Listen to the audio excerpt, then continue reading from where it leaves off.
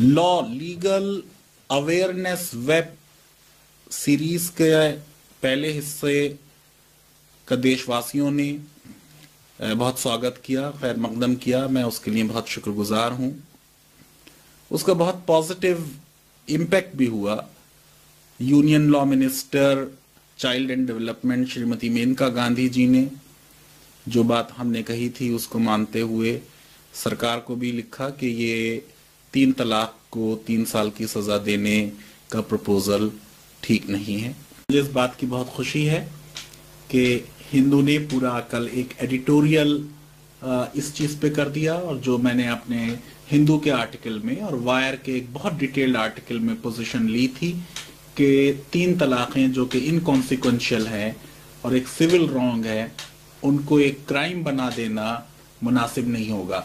तो आप ये देखिए कि हिंदू ने साफ़ तौर से कहा है divorce as crime making triple talaq a criminal offence is unnecessary and possibly counterproductive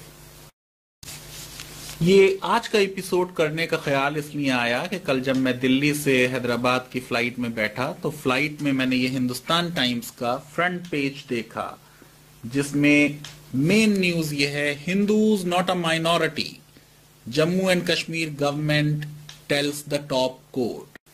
तो आज मैंने टॉपिक ये लिया है, माइनॉरिटी भारत के संविधान के हिसाब से किसको कहते हैं? अब इससे पहले कि हम बात करें कि माइनॉरिटी किसको कहते हैं, ये समझ लेने की ज़रूरत है कि अल्पसंख्यकों को अधिकार क्यों दिए जाने चाहिए।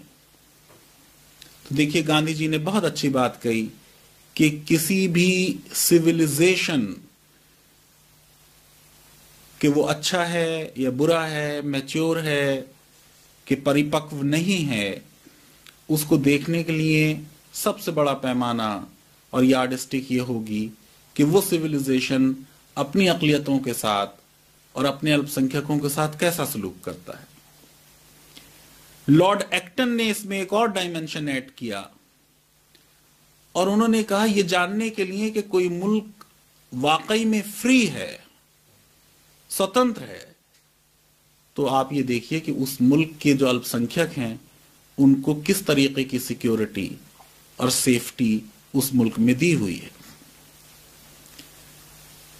मैं माइनॉरिटी राइट्स की डिबेट को कम्युनलिज्म और सेकुलरिज्म में नहीं उलझाता हूँ।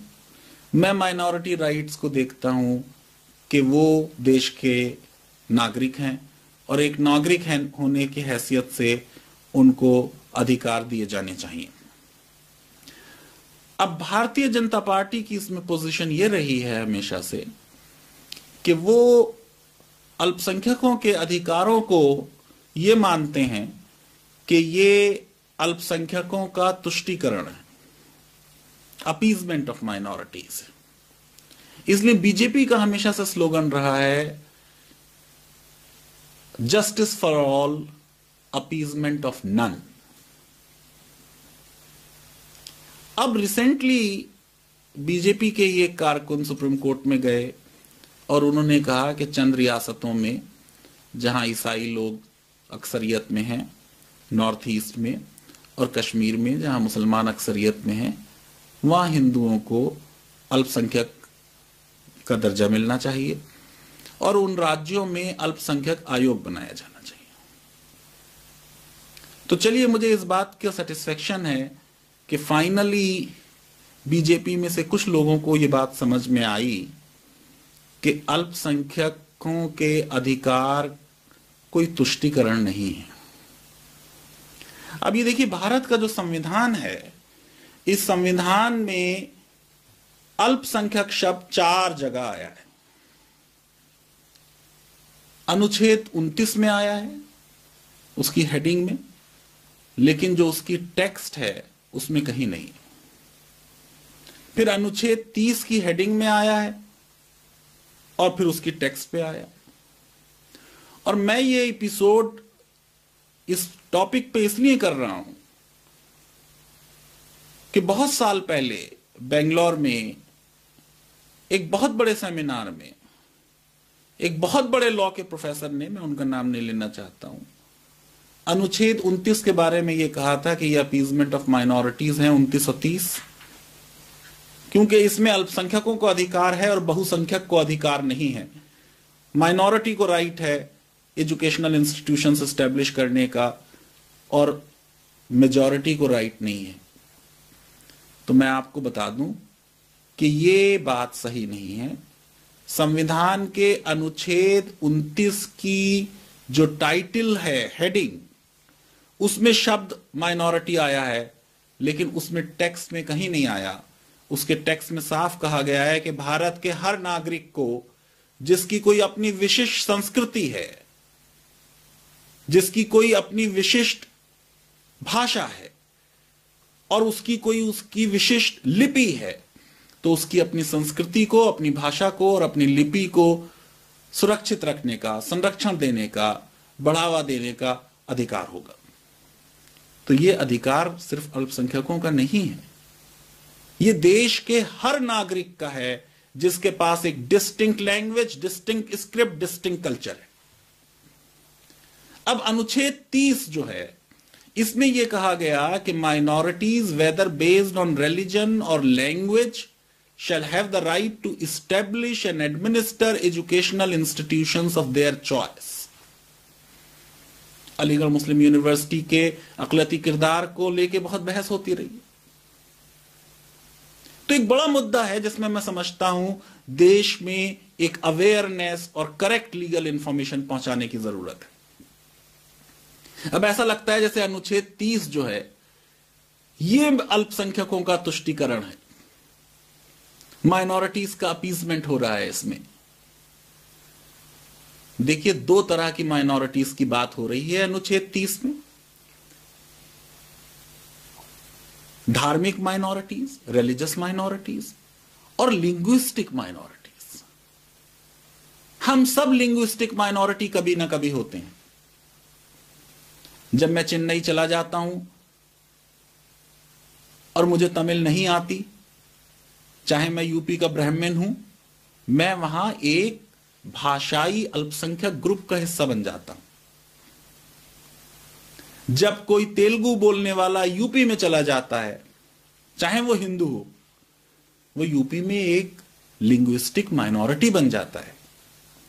और फिर वो अगर यूपी में एक तेलुगु स्पीकिंग ब्राह्मण कोई शिक्षण संस्थान बनाना चाहेगा तो उसे अनुच्छेद 30 में पूरा पूरा संरक्षण मिलेगा।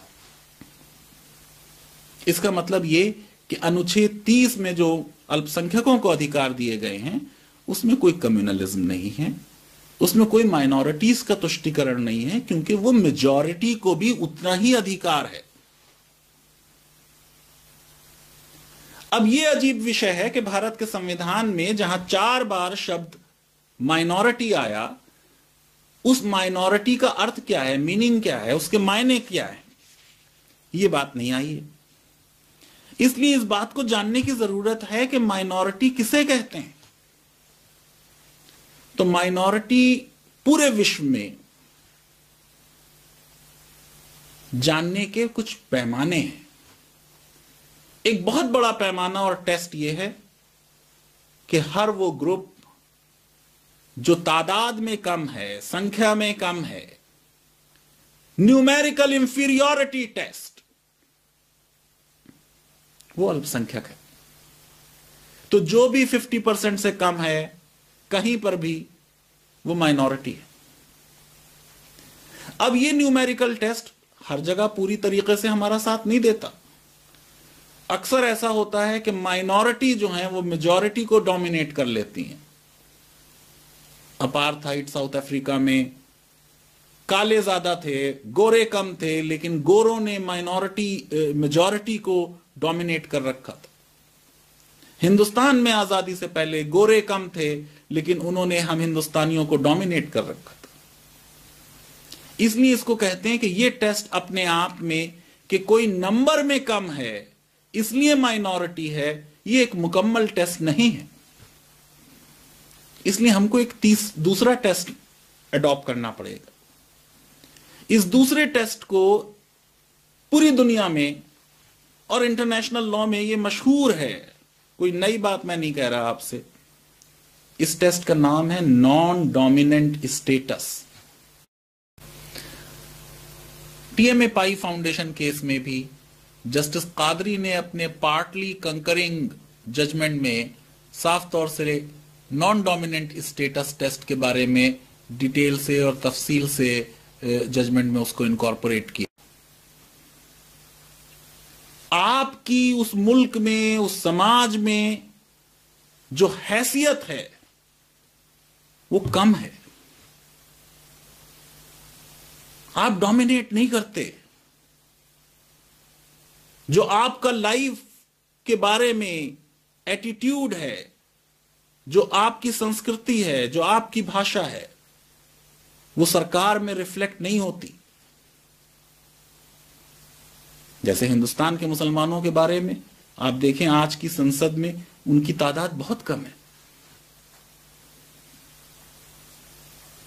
सच्चर कमेटी की रिपोर्ट ने साबित कर दिया कि सरकारी नौकरियों में, पढ़ाई में मुसलमानों का जो अनुपात है वो उनकी जनसंख्या से बहुत कम है। इसका मतलब मुसलमान इस मुल्क के नॉन डोमिनेंट स्टेटस टेस्ट को भी मीट करते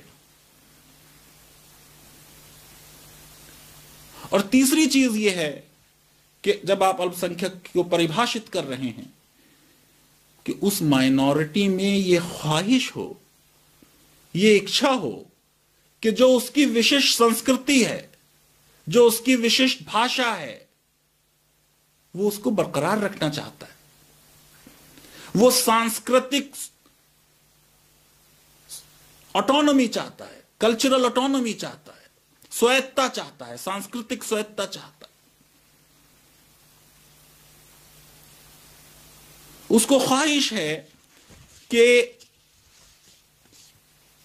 उसकी जो तहजीब है, उसका तहफ़ किया जाए।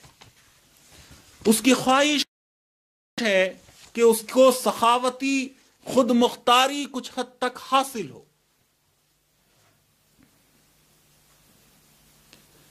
तो इस सखावती खुद मुख्तारी को हासिल करने के लिए आर्टिकल 29 और आर्टिकल 30 हैं कि आप ऐसे इदारे, ऐसे एजुकेशनल इंस्टीट्यूशंस बना सकते हैं जहाँ आपकी तहजीब, आपकी सखावत, आपकी जबान, आपकी स्क्रिप्ट कंजर्व की जाए।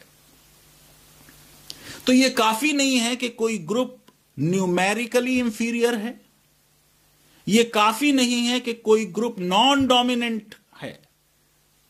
अगर उसमें यह ख्वाहिश नहीं है कि जो मेरी एक खास विशिष्ट संस्कृति और धर्म और भाषा और लिपि है, मेरी डिस्टिंक्ट लैंग्वेज है, एक खास पहचान है, उस खास पहचान को अगर वो बरकरार नहीं रखना चाहता और अपने आप को असिमिलेट कर देता है मेजॉरिटी के साथ तो फिर वो माइनॉरिटी नहीं। तो ये ख्वाहिश होना, जब शब्द हिंदू की परिभाषित किया गया अनुच्छेद 25 में कॉन्स्टिट्यूशन के, और उसमें जैन्स को भी हिंदू की डेफिनेशन में शामिल कर लिया गया तो जैंस ने उसको प्रोटेस्ट किया। और दो चार दिन के अंदर ही पंडित जवाहरलाल नेहरू ने राइटिंग में जैन्स को एश्योर किया कि हम आपको डिस्टिंग माइनॉरिटी मानते हैं और आपके हुकूक का तहफ़ किया जाएगा। और आप ये देखिए कि फिर इतने साल बाद सेंट्रल गवर्नमेंट ने जैन्स को एक अलग माइनॉरिटी माना। इसी तरह सिक्स को एक अलग माइनॉरिटी माना गया। तो ये तीसरी चीज़ भी बहुत ज़रूरी है कि ये ख्वाहिश हो कि हमारी जो मुख्तलिफ़ कल्चर है, वो प्रिजर्व की जाए। अब आप देखिए कि हिंदुस्तान की जो सुप्रीम कोर्ट है, उसने पहले दिन से माइनॉरिटी की डेफिनेशन में सिर्फ़ एक ही टेस्ट माना। वो टेस्ट था न्यूमेरिकल इंफीरियोरिटी टेस्ट जो अल्पमत में है, पचास प्रतिशत से कम है, उसको माइनॉरिटी का दर्जा दिया जाएगा। और सुप्रीम कोर्ट ने यह बात कही, केरला एजुकेशन बिल से उन्नीस सौ सत्तावन का, कि देखिए, क्योंकि लिंग्विस्टिक माइनॉरिटी और रिलीजियस माइनॉरिटी दोनों एक साथ आ रहे हैं अनुच्छेद 30 में और क्योंकि भारत में जो रियासतें बनाई गई हैं, स्टेट्स बनाई गई हैं, वो भाषा के आधार पर बनाई गई हैं, इसलिए अल्पसंख्यक को राज्य के स्तर पर ही परिभाषित किया जाएगा। स्टेट्स के लेवल पे डिफाइन होंगी माइनॉरिटीज इसलिए नेशनली माइनॉरिटीज को नहीं डिफाइन किया जाएगा। और यह बात फिर सुप्रीम कोर्ट की नाइन जज बेंच इलेवन जज बेंच लगातार रिट्रिएट करती रही कि न्यूमेरिकल इंफीरियोरिटी टेस्ट है भारत में अल्पसंख्यक दर्जा पाने के लिए। अब मैं आपसे पर्सनल एक बात शेयर करना चाहता हूँ। इलाहाबाद हाईकोर्ट में अलीगढ़ मुस्लिम यूनिवर्सिटी के अल्पसंख्यक चरित्र का केस चल रहा था। चीफ जस्टिस ए एन रे ने कहा कि हम मुसलमानों को माइनॉरिटी नहीं मान सकते, वो तो पंद्रह करोड़ हैं। उनको अपने खत्म हो जाने का खतरा नहीं है थ्रेट ऑफ़ एक्सटिंक्शन नहीं है। जैसे वाइल्ड लाइफ का ये टर्म ऑफ़ आर्ट है कि कोई एनिमल कोई बर्ड जो खत्म होती जा रही है, विलुप्त होती जा रही है। उसके बारे में कंजर्वेशन के स्पेशल मेजर्स किए जाते हैं। जैसे हमने पूरा एक प्रोजेक्ट टाइगर चलाया टाइगर्स को प्रिजर्व करने के लिए। तो उनके सामने बहुत अच्छी तरह यह आर्गू किया गया कि यह टेस्ट नहीं है। आप हाई कोर्ट हैं, आपको सुप्रीम कोर्ट का फैसला मानना पड़ेगा। और क्योंकि यूपी में मुसलमान 50 परसेंट से कम हैं, इसलिए उनको आपको माइनॉरिटी स्टेटस देना पड़ेगा। जो जजमेंट आया उसमें इस बात का ज़िक्र नहीं है। लेकिन एक दूसरे केस में इलाहाबाद हाई कोर्ट ने कह दिया कि मुसलमान अल्पसंख्यक नहीं है। ऑन द कंट्रेरी आप देखिए कि गो के सुप्रीम कोर्ट का फैसला है कि जो एक स्टेट में 50 परसेंट से कम है, वो माइनॉरिटी है। लेकिन जब पंजाब एंड हरियाणा में एक सिख माइनॉरिटी इंस्टीट्यूशन का मैटर आया तो Punjab and Haryana high court ने एग्जामिन ही नहीं किया इस क्वेश्चन को। They took it for granted that Sikhs are a minority बाद में फिर एक दूसरा फैसला आ गया, जिसमें कहा गया सिक्स माइनॉरिटी नहीं है, अब मैटर सुप्रीम कोर्ट में है। इसलिए ये आज का एपिसोड इंपॉर्टेंट है, क्योंकि सिक्स के माइनॉरिटी स्टेटस पे सुप्रीम कोर्ट को फैसला करना है इस साल, या अगले साल, अब तो ये साल खत्म हो रहा है। और हिंदुओं के माइनॉरिटी स्टेटस की एक पेटिशन पिछले महीने डिस्पोज ऑफ़ हुई। एक पेटिशन ये कश्मीर के बारे में है। मैंने ट्रिब्यून में भी लिखा था, और मैंने एक नई मैगजीन लीगल नोट्स के लिए भी लिख दिया है, पूरी एक कवर स्टोरी कि हिंदुस्तान के हिंदू हिंदुस्तान के सभी राज्यों में अल्पसंख्यक भी हैं। जिन राज्यों में कोई और धर्म का वर्चस्व है, जहाँ मेजॉरिटी किसी और धर्म की है, इस्लाम धर्म की या ईसाई धर्म की, जैसे नॉर्थ ईस्ट के कुछ राज्य हैं, अरुणाचल प्रदेश है जैसे, मिजोरम वे वहाँ वो रिलीजियस माइनॉरिटी हैं। और बाकी सारे हिंदुस्तान के देश भर के राज्यों में जब एक राज्य का हिंदू दूसरे राज्य में जाता है और उस राज्य की भाषा को नहीं जानता और उस राज्य की, उसकी भाषा बोलने वाले उस राज्य में कम हैं पचास परसेंट से तो वो लिंग्विस्टिक माइनॉरिटी बन जाता है। इसलिए तमिलनाडु का ब्राह्मण जब यूपी में आता है तो वो माइनॉरिटी बन जाता है। ये लिंग्विस्टिक माइनॉरिटी का जो मुद्दा है कि आपको दूसरे स्टेट की जबान नहीं आती। देखिए, इसमें कितनी बड़ी कंट्रोवर्सी अभी मनीशंकर अय्यर ने, जिन्हें हिंदी नहीं आती, अपने एक स्टेटमेंट से कर दी। और अब गुजरात के इलेक्शन से लगता है कि शायद उनका ये स्टेटमेंट कांग्रेस पर बहुत भारी पड़ा। एक मलयाली जब बिहार में जाता है, या एक बिहारी जब केरला में जाता है तो माइनॉरिटी है तो हिंदूज भी इस देश के सब राज्यों में माइनॉरिटी है।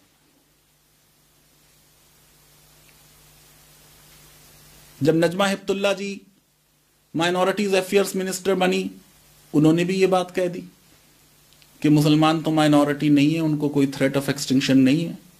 उस पर भी मैंने एक बहुत बड़ा आर्टिकल लिखा। तो बात मैं ये बताना चाहता हूँ आज के इस एपिसोड में कि इसको कम्युनलाइज ना करें इस इशू को, क्योंकि जितना अधिकार as a minority Muslims or Christians को है, उतना ही अधिकार हिंदूज को भी है। देखिए, किसी भी देश में सबका साथ, सबका विकास अगर हमारा नारा है तो हमें सबको साथ लेके चलना होगा। अगर हम चाहते हैं कि देश के अल्पसंख्यक मुख्य धारा से जुड़ जाए तो उनको मॉडर्न एजुकेशन देनी होगी।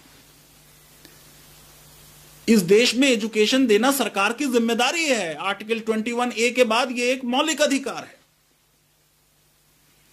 राज्य के पास उतने रिसोर्सेज नहीं है कि ये जितनी तादाद में शिक्षण संस्थान, स्कूल बना पाए, कॉलेजेस बना पाए।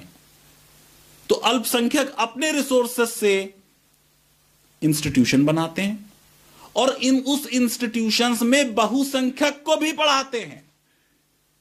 कोई भी माइनॉरिटी इंस्टीट्यूशन जो है, वो सिर्फ़ माइनॉरिटी को नहीं पढ़ाता, बल्कि ज़्यादातर में तो 50 परसेंट नॉन माइनॉरिटी का रिजर्वेशन है।